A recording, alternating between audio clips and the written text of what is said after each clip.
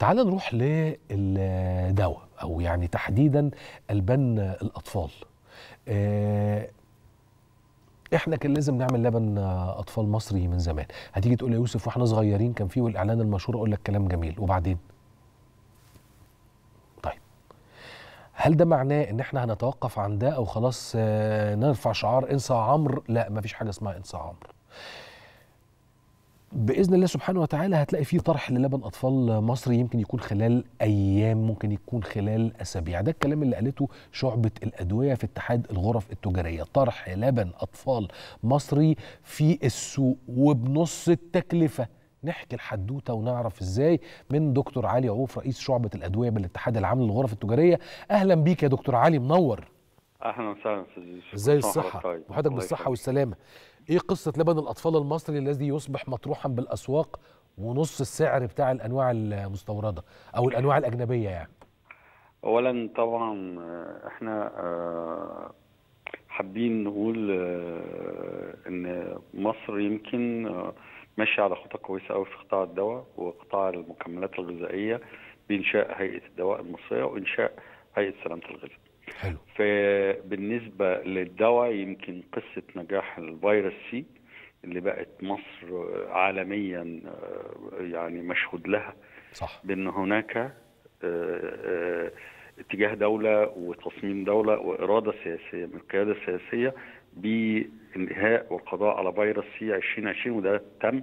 الحمد لله مصر من ثلاث شهور خدت شهادة من منظمة الصحة العالمية. بتؤكد إن مصر خالية وإن مصر نجحت في هذا وده حاجة تدرس على مستوى العالم. صحيح الحاجة الثانية من قصة نجاح أنا قلت قبل في نهاية 23 وفي بداية 24 هنسمع في مصر على حاجات غير مسبوقة هتبقى إنجازات لم تحدث في تاريخ مصر ولا في الشرق الأوسط ولا إفريقيا في قطاع الدواء وقطاع المستلزمات وقطاع الأغذية من 2017 وفي إحدى البرامج على القناة الفضائية المصرية خبر والخبر ده موجود عندي ممكن أبعته لكم. حضراتكم في 2018 السيد فخامة رئيس الجمهورية اجتمع برئيس الوزراء واجتمع ب آه، آه، مدير أو رئيس مجلس إدارة مصنع لفت مصر اللي هو المصنع المصري في 2017 هذا المصنع كان مغلق وكان آه، إنتاجه اتعاد تأهيله تاني وإدى تكليفات واضحة إن يبقى في لبن مصري بيتم إنتاجه.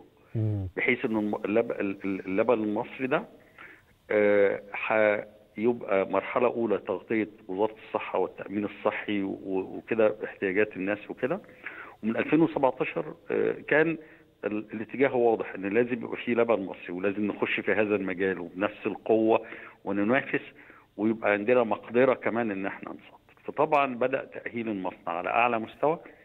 فمن 2017 بدأ إنتاج وطني للبن أطفال آه، مصري. الجزء المرحلة الأولانية تغطية وزارة الصحة والتأمين الصحي. إحنا لو جينا بصينا على سوق لبن الأطفال في مصر سوق لبن الاطفال في مصر بنتكلم في 50 مليون علبة. 25 مليون علبة بياخدهم آه، وزارة الصحة ومراكز الصحة بيتم توريدهم بسعر مدعم لل... لل... للمواطن المصري. العلبة ب 5 جنيه.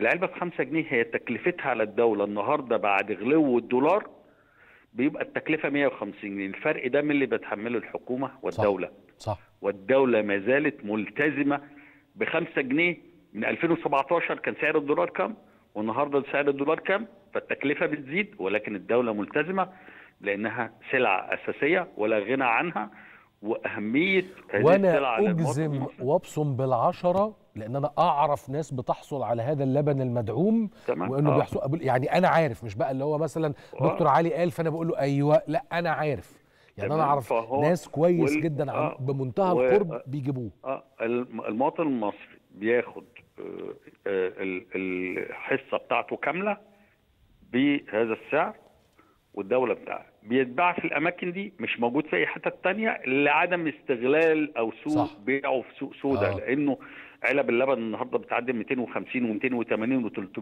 جنيه وأكتر يعني.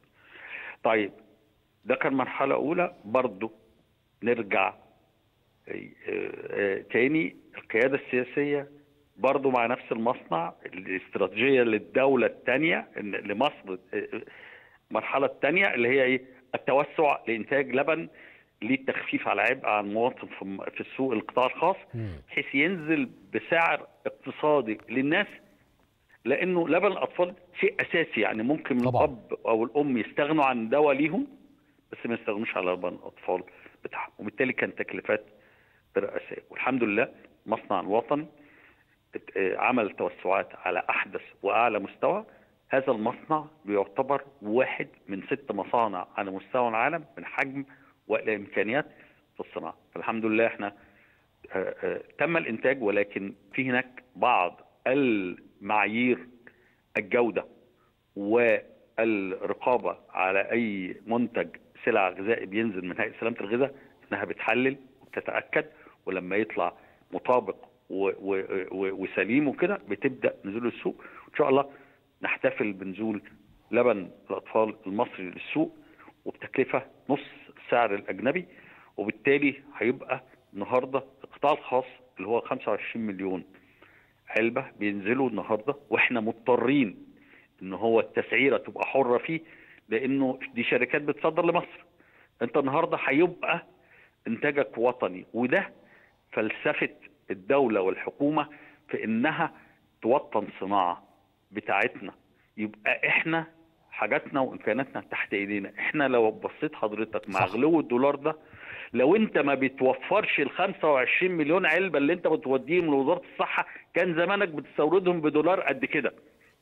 فأنت النهارده لما وطنت صناعة يبقى استراتيجية الحكومة والقياده السياسيه ماشية صح.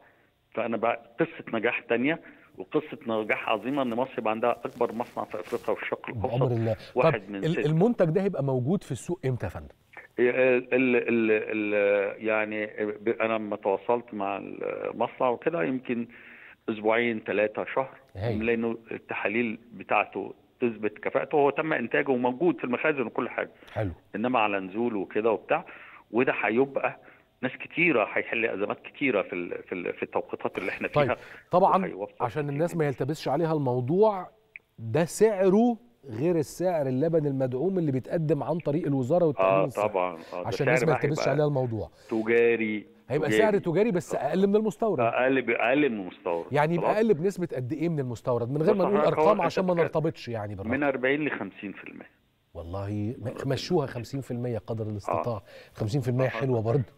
دي أنا بشكرك يا دكتور والله بجد ودي حاجة فعلا تستحق رفع القبعة لأنه ده هيخفف كتير جدا من على كاهل المواطن بشكرك جدا دكتور علي عوف رئيس شعبة الأدوية بالاتحاد العام للغرف التجارية.